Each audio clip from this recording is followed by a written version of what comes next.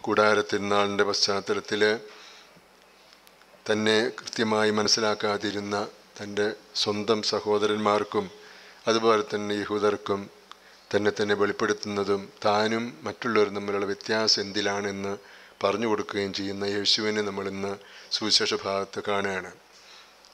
സുവിശേഷകൻ പറയാണ് സഹോദരന്മാർ പോലും അവനെ വിശ്വസിച്ചില്ല. അതുകൊണ്ട് അവനോട് നീ ചെയ്യുന്നതൊക്കെ നീ അവിടെ പോയി ചെയ്ത് നീ ആരാണെന്ന് വ്യ- വ്യക്തമാക്കി കൊടുക്കണം എന്ന് പറഞ്ഞതായിട്ട് യോഹന്നാൻ ഇവിടെ സാക്ഷ്യപ്പെടുത്തുന്നുണ്ട്.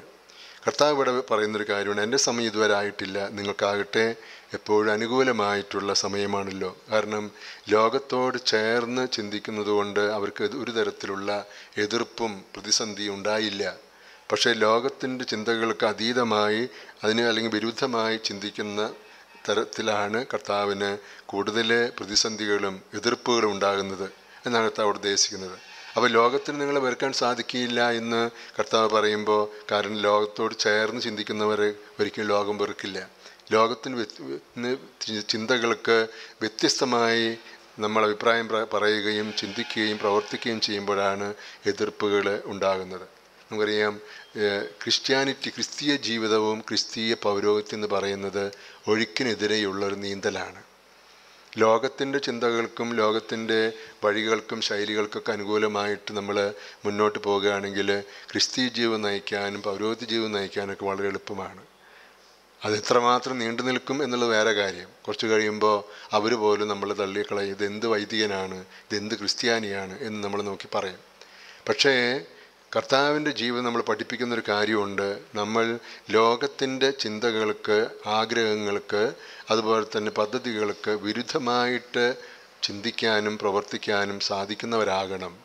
അങ്ങനെ സാധിക്കണമെങ്കിൽ നമുക്ക് ലോകത്തിന്റെ ചിന്തകൾക്ക് വിരുദ്ധമായി ബൈബിളിൽ പറഞ്ഞിരുന്ന കാര്യങ്ങൾ കർത്താവിന്റെ ജീവിത മാതൃകയിൽ കാണുന്ന കാര്യങ്ങൾ നമ്മൾ സ്വന്തം ജീവിതത്തിലേക്ക് സ്വീകരിക്കുന്നവരായിട്ട് നമ്മൾ രൂപാന്തരപ്പെടണം.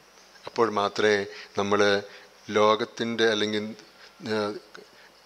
ലോകത്തിന്റെ ചിന്തകൾക്ക് അതീതമായി മുന്നോട്ട് പോകുന്ന കർത്താവിന്റെ മനസ്സും ഹൃദയവും സ്വന്തമാക്കി മുന്നോട്ട് പോകുന്നവരാണ് എന്ന് പറയാനായിട്ട് സാധിക്കുകയുള്ളൂ. അതിനുള്ള ആഹ്വാനവും ഓർമ്മപ്പെടുത്തലുമാണ് ഇന്നത്തെ സുവിശേഷം. കർത്താവ് പറയുന്നത് നമുക്ക് നമ്മുടെ മനസ്സിൽ എപ്പോഴും കുറിച്ചിടാനായിട്ട് പ്രത്യേകം ശ്രദ്ധിക്കണം.